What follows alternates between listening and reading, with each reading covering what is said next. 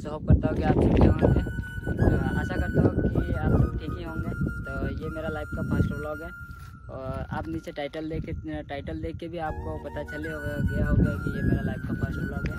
तो गाइज़ मैं मैं नहीं चाहता हूँ कि ये व्लॉग आप, आपके दोस्तों पे ज़रूर एक बार शेयर करना, क्योंकि मैं एक न्यू यूट्यूबर हूँ, नहीं तो बड़ा यूट्यूबर हूँ, क्यों, क्योंकि राइडर जैसा, ना सौरभ जैसे जैसा हूँ। तो गाइज़ मैं एक छोटा यूट्यूबर हूँ तो आप सपोर्ट करना गाइज़ आपके सपोर्ट के बिना मैं कुछ भी नहीं हूँ। तो गाइज़ ये ब्लॉग थोड़ा अमेजिंग बना देना। और मैं एक ऐसी एक खूबसूरत जगह पे आया हूँ, जहाँ पे नहीं आस पड़ोस में नहीं तो घर भी है, और एक पहाड़ों के बीच में बना हुआ एक छोटा सा ये देख सकते हैं गाइज़